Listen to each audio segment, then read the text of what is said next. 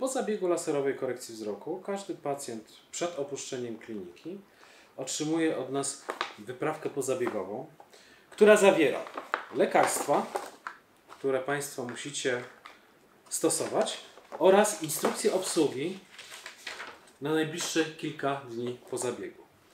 Zawiera ona pewne zalecenia, których się należy ściśle trzymać, co Państwu wolno, czego Państwu absolutnie nie wolno, jak również dawkowanie leków, które zostają Państwu przekazane.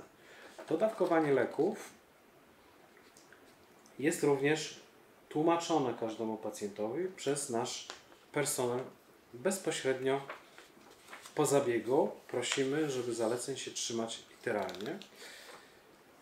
Pytacie Państwo, czy gojenie oka można wspomóc różnego rodzaju okładami z ziół.